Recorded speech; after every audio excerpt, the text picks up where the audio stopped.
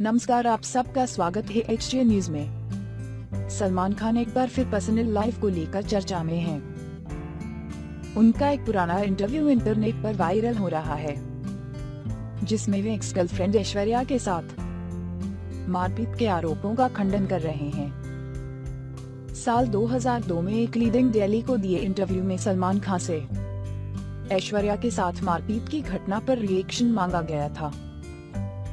तब सलमान ने कहा था कि उन्होंने ऐश्वर्या को कभी नहीं मारा। इस इंटरव्यू में सलमान ने यह बात स्वीकार की थी कि उन्होंने डायरेक्टर सुभाष घई को ज़रूर थप्पड़ मारा था, जिनके साथ ऐश्वर्या ताल में काम कर रही थी। ऐश्वर्या और सलमान ने फ़िल्म हम दिल दे चुके सनम 1999 में साथ काम किया था। इस फ़िल्म की शूटिंग के दौरान उनकी नजदीकियाँ बढ़ी। लेकिन हम तुम्हारे हैं सनम 2002 की रिलीज़ के बाद उनका ब्रेकअप हो गया। इस फ़िल्म में भी ऐश्वर्या सलमान की गर्लफ्रेंड के रूप में दिखी थी। दोनों के ब्रेकअप की असली वजह क्या थी?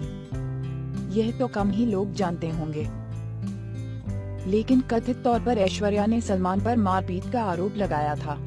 साल 2007 में ऐश्वर्या ने अभिषेक बच्चन से शादी कर ली। आप देख सकते हैं एच